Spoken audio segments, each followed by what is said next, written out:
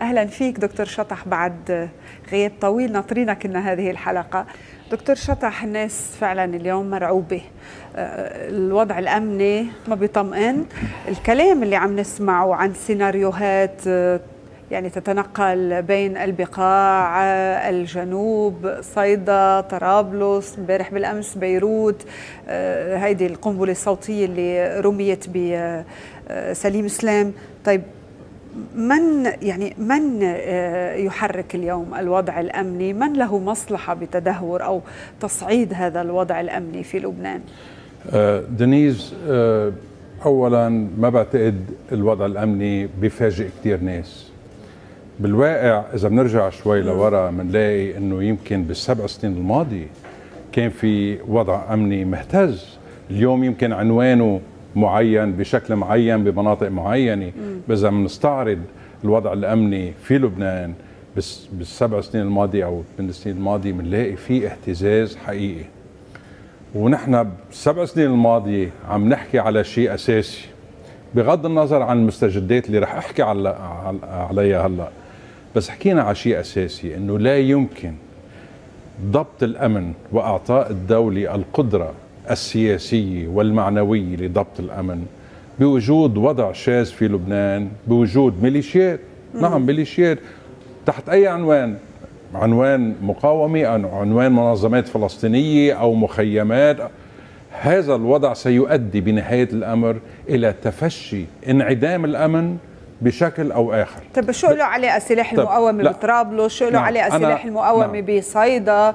شو له عليه السلاح نعم. المقاومه بعرسال؟ أنا ابتدأت بالحديث عن هيدي. تقول إنه في شيء هيكلي يلي قاعدة مهتزة بالأمن بتصعب على الدولة الإمساك بالأمن بطريقة متساوية على الجميع. طبعا في مستجدات وبالسنتين الماضيين في أمر كبير بسوريا عم يصير. اذا الاشكاليه اللي كانت موجودة اجى عليها إشكالية إضافية وخطيرة ومش بعيدة عنا يلي هي إشكالية الوضع السوري. من تقريبا عشرة أشهر نحن ب 14 اذار بجدية كاملة وبعد هيك نظرة موضوعية على الوضع الأمني بالبلد. وكيف عم تتآكل هيبة الدولة والأمن وال يعني الاستقرار بشكل عام. فعلا تقدمنا نحو الفريق الآخر نحو حزب الله وحلفائه بمحاولة الوصول إلى التزامات متبادلة وكاملة بموضوع الحدود بموضوع عدم التدخل في سوريا بموضوع إعطاء الجيش القدرات وحتى الاستعانة بكل شيء يحتاجه الجيش اللبناني من الداخل أو بالخارج والتزامات بتحييد لبنان عن هذا هذه المحرقة اللي حتى من سنة شايفينها إنه محرقة ورح تستمر. مدينا اليد بهالغرض للأسف خلال السنة الماضية شفنا استمرار بالانزلاق. واستمرار بالانزلاق متطور. أخيرا بالأشهر الماضية وأكيد الأسابيع الماضية شفنا نقلة نوعية بالواقع. بالسبع سنين الماضية دنيز كانت الإشكالية بالنسبة لنا قبل استفحال الوضع السوري. أنه في وجود مسلح ضخم لحزب الله اللي هو بحلف عسكري استراتيجي مع إيران. نعم. هذا التواجد هو جزء من الاستراتيجية الدفاعية الإيرانية. واعتبرناه خطر على البلد وعلى الدولة وعلى الكيان وعلى التعايش وعلى كل شيء. الآن يبدو وإن شاء الله حدا يقدر يبرهن العكس إنه حزب الله قرر إنه في أهمية لاستعمال هالواقع تبعه أيضا بالمعركة السورية.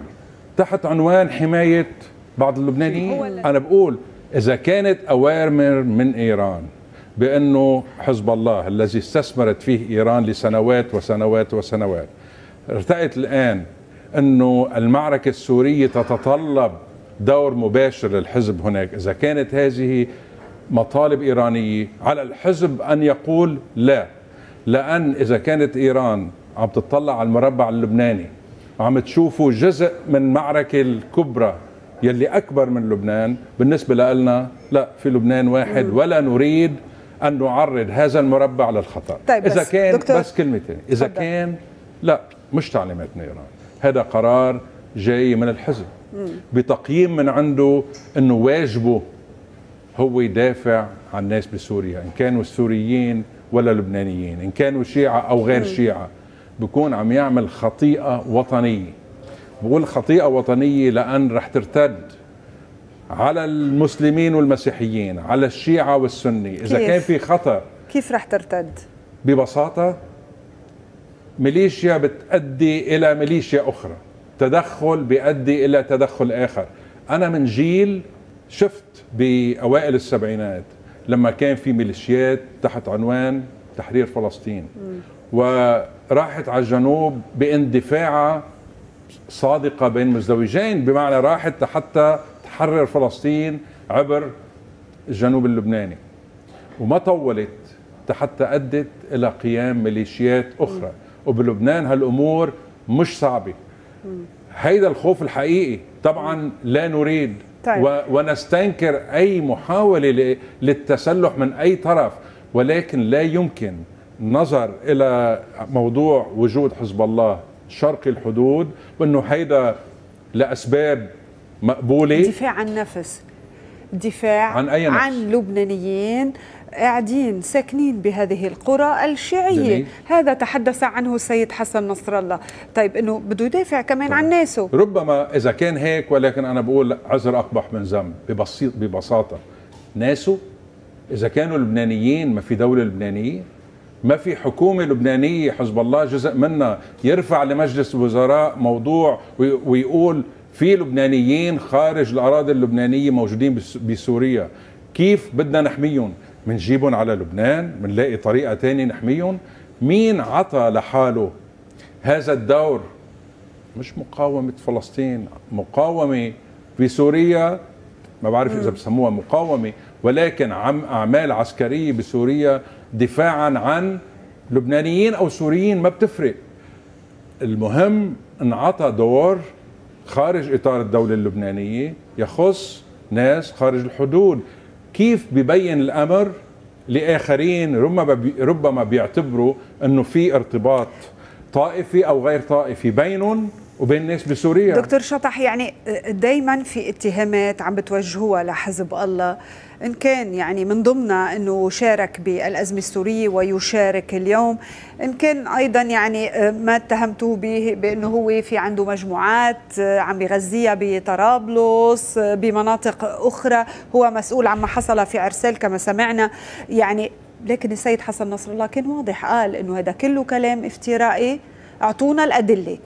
عندكم أدلة ولا دنيس. القضية إنه قضية سياسية أنا- يعني نعم. توظيف سياسي هذا كلام توظيف نعم. سياسي حتى نضل عندكم شعبيه أنا- لأنه عم نعم. دائما موجهين الأسهم على دنيس، حزب الله أنا مش من النوع اللي بيأكد شيء مش متأكد منه أو بعمل اتهام سياسي هيك حتى أربح نقط أنا بقول حزب الله يقول إنه عنده دور عسكري داخل الأراضي السورية دفاعا عن لبنانيين سوريين شيعة سنة ما بيهمني. هو عم يقول ما أنا عم أقول. هيدا مرفوض. إذا إجا حدا بكرة بعكار بده يبعت شيعة الكلخ دفاعا عن ما بعرف شو. راحت مجموعة. مرفوضة ومستنكرة. ما اجى حدا وإذا اجى حدا دافع عن هذا الأمر نحن مش بس نستنكره ومش بس بنرفضه نحن مدينا ايدنا لحزب الله. قلنا خلينا نعمل التزام متبادل. إعلان بعبدا مش اجى من الهوى. شفنا مخاطر التدخل المباشر ونحن عارفين إنه عندنا رأي واضح بما يتعلق بسوريا. منا محايدين. يعني بين ما ي... بين النظام وبين سياسة النائب الآخر. النفس مش يعني. مش محايدين. وأكيد حزب الله مش محايد. ولكن سألنا السؤال البديهي. نحن في لبنان. الفرقاء اللبنانيين. هل نحن مستعدين نلتزم بقواسم مشتركة تتركز على حماية لبنان وتحديد وتحييده من هذه المحرقة. لبنان احترق بالزمان. سنة 58 58 ما بدي أرجع يعني تقريبا نصف قرن لبنان آنذاك الحكومة اللبنانية قررت فعليا وكأن يعني تريد الدخول بحلف بغداد. أدت إلى حرب أهلية شهرين راح حوالي 1500 لبناني. بسنه 69 70 انزلق لبنان إلى استباحة حدوده وراح يمكن 100 أو 150 ألف فتيل ما بنقدر نمتحن هالبلد من جديد. مدينا إيدنا للوصول إلى التزامات حقيقية. بأعلى سلطة في البلد رئاسه الجمهورية. وكان في إعلان مشترك. وفي 13 بند يمكن. بس بالأساس تحييد لبنان. الحياد.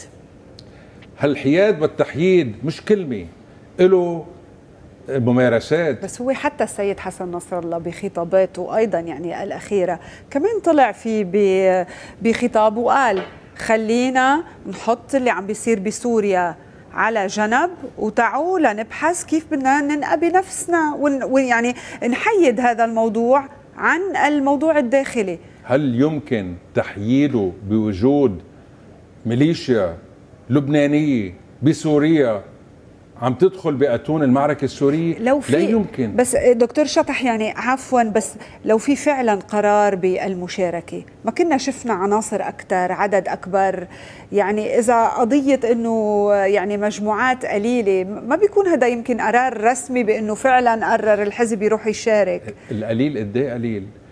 التقارير مليانة بالعالم. من أقصى إلى أقصى يقول إنه حزب الله آه، يدرب ميليشيات مؤيدة للنظام. ما بقدر أنا وين؟ أحكم على الأراضي السورية؟ ما بقدر أحكم. بس أنا بقدر أحكم عما صدر عن حزب الله. وقال أنه هودي مجاهدين وتزرع بأنه الدولة غير قادرة. أنا ما سمعت الدولة عم ترد ما سمعت الدولة عم تاخذ الموضوع على طاولة مجلس الوزراء. لا يمكن التزرع بأنه الدولة مش قادرة أنا بعمل اللي بلاقيه مزبوط هيدا الأمر صار بخصوص المواجهة مع إسرائيل وصار له عم يصير سنين طويلة. وهيدا طبعا موضوع إشكال أساسي. الآن رفعناه إلى دور إضافي.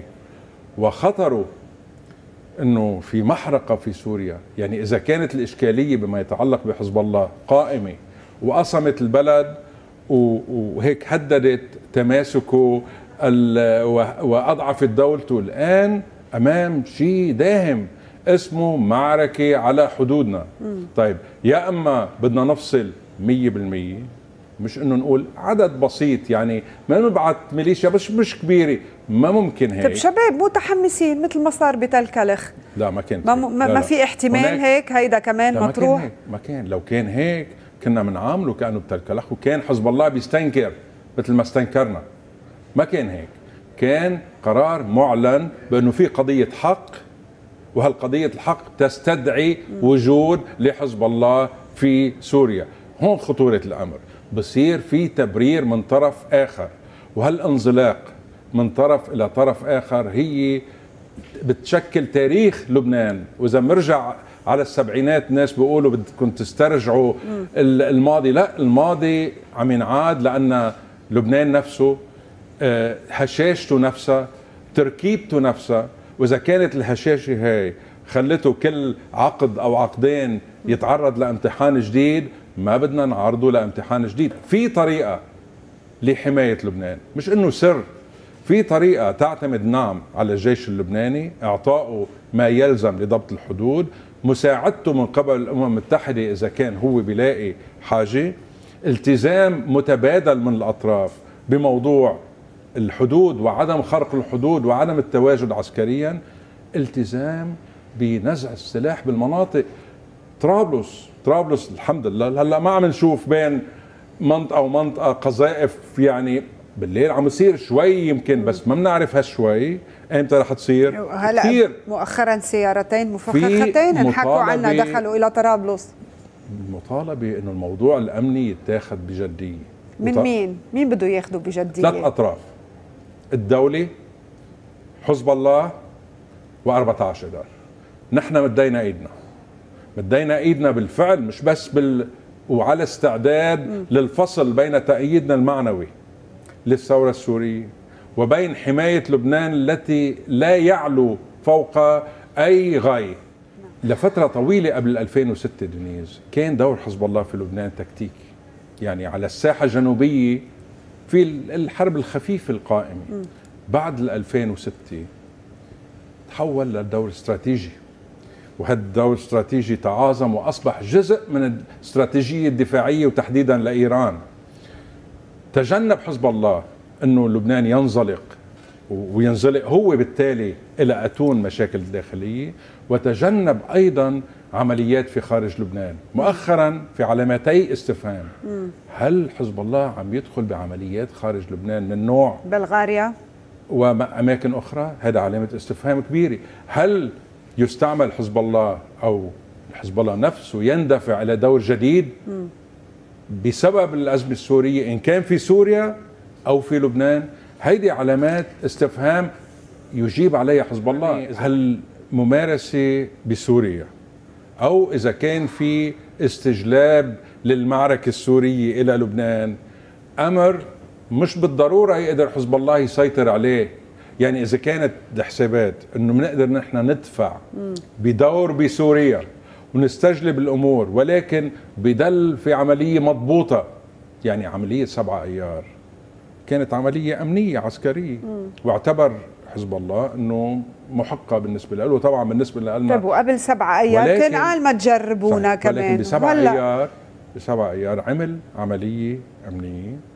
ومع كل فظاعتها وتأثيراتها اللي بعدنا عم نعيشها ما أدت إلى آه، كارثة. انفجار. والسبب إنه صار في عملية رد فعل مضبوطة لأن فعلا كانت الخيارات وقتها صعبة وما انزل البلد والحمد لله مع فظاعة اللي صار. الآن اليوم. بدنا نجربه مرة ثانية هيدي الحسابات هي اللي لازم تتراجع من قبل حزب الله. حسابات الدور دور حزب الله بسوريا وإمعانه باستجلاب الوضع السوري وعدم قبوله بقواسم مشتركة حقيقية والتزامات مش بالكلام التزامات حقيقية. تحت عنوان إعلان بعبدة ولكن بخطوات واضحة وبقيادة الدولة. هذا عرض موجود. لا يمكن للدولة إنه هيبتها تنحفظ. لا يمكن للكيان اللبناني إنه يدل مع وجود خطوط التماس اللي بنعرفها فيه. لا يمكن للعلاقات الطائفية آه، تبقى مستتبة وبوجود حزب الله الكائن العسكري الكبير يلي شئنا أم أبينا ينظر إليه إنه اولا مرتبط بحلف استراتيجي خارج البلاد اثنين عنده سلطة أمر واقع عسكرية كبيرة كتير والتفوق على الدولة وثلاثة بيفرض حاله وقت اللزوم حتى يمسك بالنظام. البلد طبيعته تلك هشة والسنين الماضية عم تزيد من حساسية الناس الطائفية والمذهبية والشعور إنه في استهداف. هيدا عم ينمى.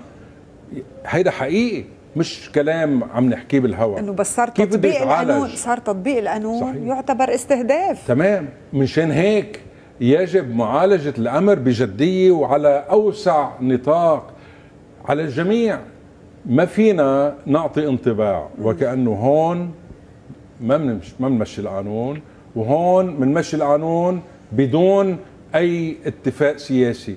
ما فينا هون نعمل سياسة وهون نعمل أمن. هون نعطي انطباع بأنه منا مستهدفين وهون نستهدف. ما فينا.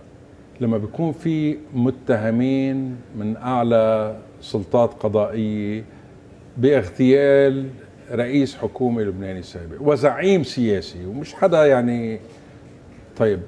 وخلص اسكتوا هيدا موضوع ما بتقدروا تقربوا عليه. بتقولي لي هيدا الشيء وهيدا الشيء. لا حضرتك معقول تقولي هيدا؟ عم أقول حضرتك حدا معقول يكون هي يقول هيدا الشيء وهيدا الشيء. لما بتطلع عليه من الجهة الثانية ما بيشوفوها هيك. بصير في استقواء على الدولة. هيدا مسار يعني بياني. برجع أوائل السبعينات لما المنظمات الفلسطينية استقوت على الدولة في مكان استقوى الآخرين على الدولة. هيدا مسار مسار انزلاقي لا يمكن إلا نوصل عليه. مشان هيك التحذير منه عم يجي لأسباب سياسية؟ عم يجي لأسباب موضوعية. وإذا كان في آه، يعني محاولة لتجزيء الموضوع إنه هون آه، بنعمل شيء وهونيك بنعمل شيء ثاني هيدي وصفة للفشل. ما رح تقدر الدولة. طبعا نحن بدنا الدولة تطبق القانون على الجميع بس نحن عم نحكي موضوعيا. لن نصل إلى نتائج حقيقية إن كان بعكار ولا ببيروت ولا بطرابلس ولا بكسروان ولا وين ما كان وبكرة ما بنعرف مين وين رح تطلع أشكال تانية. جديدة والتاريخ اللبناني يشهد إنه ما بتطول الأمور تطلع أشكال جديدة. هل هناك حالة من الإدراك إنه في عنا أزمة وطنية كبيرة؟ طبعا عندنا أزمات. ولكن أزمة وطنية كبيرة بتقول إنه الأمن معرض والأمن معرض تلقائيا والأمر معرض بزيادة لأن في البعض يستهدف الأمن اللبناني. اجتمع المجلس الدفاع الأعلى اتخذ قرارات جدد على أيضا أكد على قرارات كانت سابقة متخذها آه، يعني في حركة في خطة قيل بأنه الجيش عم بيعد لها مع القوى الأمنية. آه، في انتشار عم بيكون للقوى الأمنية منع من إنه يصير في أي يعني حالات نعم. أو تصادم بصيدا. حتى بطرابلس يعني إنه الأمور بتوصل إلى حد إذا ما؟ كان يعني شو مطلوب أكثر من هيك؟ إذا كان في خطة وطنية تشمل هذه الأمور وأمور الحدود والمدن وطرابلس إذا في شيء أنا ما بعرفها. يعني إذا أنا بقول لك ما بعرفها أكيد معناتها يعني ما مجلس في خطة. الدفاع أو الحكومة فشلت في قول للبنانيين إنه أنا عم أتعاطى مع الأمر بجدية. ما في لحد هلا ما في جدية يعني بالتعاطي الرسمي مع الوضع الأمني. أكيد لا. أكيد لا. هلا طبعا بيجي وزير الداخلية اللي كلنا بنحبه ممكن يقول لك ما في جدية لأن ما في عندي غطاء من سياسي. الجميع. الغطاء من مين بيجي؟ نحن قلنا إذا في فريقين بالبلد وفي فريقين نحن مستعدين أن نصل إلى التزامات حقيقية ونعطي الدولة كامل الدعم المعنوي والسياسي والمادي ونعين الجيش أنه يطبق الأمن الكامل حدودا ومدنا وأحياء على الجميع. هذا ما عم يصير والسبب اللي ما عم يصير بدون ما نتجنى على الآخرين. أنا ماني شايف من الطرف الآخر مد يد. بعد ما وقع إعلان بعبدة شفنا بشكل واضح جدا أنه ليس هناك من رغبه بترجمة هذا الإعلان إلى تحييد بالطريقة الجدية. ولما بكرة بيوصلوا لقناعة إنه خسارة الأمن اللبناني والكلفه على اللبنانيين رح تكون الكلفه على الجميع بما فيه عليهم ويمدوا إيدهم رح يلاقوا في فريق مستعد رغم كل آه، آه، تأييده المعنوي للموضوع السوري. ورغم كل رفضه لبقاء حزب الله الجيش منفصل عن الدولة بالموضوع السوري وموضوع الأمني نريد أن نعمل معا على حماية لبنان من هذا الخطر الداهم. ولحد هلأ في العكس تمام في استجلاب لهذا الخطر. أنا شعرت وأشعر أكثر اليوم بالخوف على لبنان من هذه الممارسات. وعم أقولها بطريقة موضوعية. أنا عايشت فترة سنة 1970 لسنة 1975 بتفاصيلها. ولا ما كان في حزب الله بوقتها. كان في منظمة تحرير فلسطينية من يعني تدفع باتجاه فلسطين بشكل ربما بعض اللبنانيين اندفعوا وراء أكثر ما عم يندفع البعض وراء الحزب. حزب الله. الآن الآن حزب الله أمام امتحان حقيقي. م. التاريخ ممكن يعيد نفسه. وهذا مش تهويل. آخر حزب ممكن يحول نفسه لميليشيا على الأراضي اللبنانية هو حزب المستقبل. تيار أكيد. المستقبل. بس مش هذا الموضوع.